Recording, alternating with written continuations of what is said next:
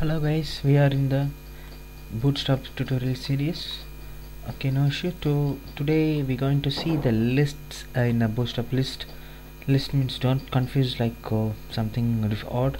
It's nothing like uh, we're going to see order list unordered list and and some other few things like uh, if uh, uh, by using the inline list by the inline and some definitions list we're going to see okay so I just uh, flip my page. So already we discussed uh, whatever the topics. Let me just close it out.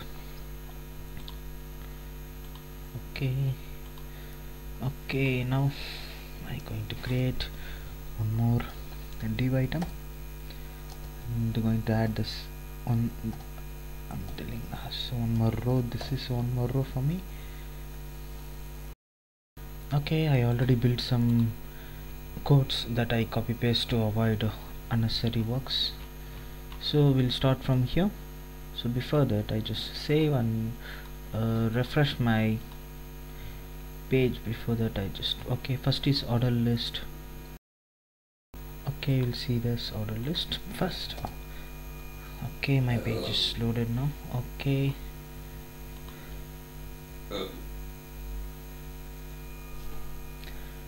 so first example uh, order list we're going to see. So I just go and uh, flip this one. This is OL by using the OL bootstrap will provide you the order list. That is straightforward like uh, common CSS next is unordered UL if you use uh, UL unordered it will be works. So that is what the this two example is showing. Then it is unstyled. What is unstyled actually? So you don't want any styling. You use the list uh, underscore unstyled this class will provide you without any style. It, it will be like uh, looks like just added without any style order or unordered by using the unordered list by using a un you can then uh, we'll go for a definition list. What is a definition list man?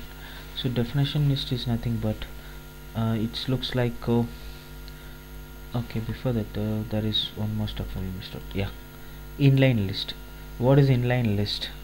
Inline list uh, see I just want my list to be uh, drawn in the single line. So by using the class list dot inline you can achieve this. And next is definition. Definition you know already dl so dl associated uh, title is dt uh, dd dd is your description. So that is what all about here. This is uh, title and this is your uh, description.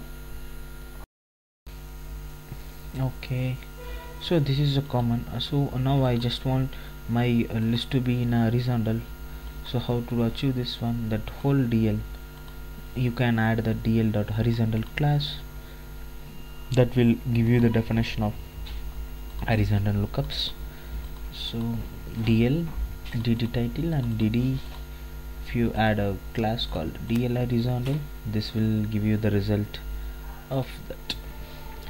So guys this is the all possible scenarios of uh, lists uh, order list unorder list and unstyled list inline normal list and the definition list with vertical and horizontal view. Hope you guys understand what i'm trying to tell so if you have any doubt queries please comment us. I will come back with uh, some new stuffs in the future session. Have a great day guys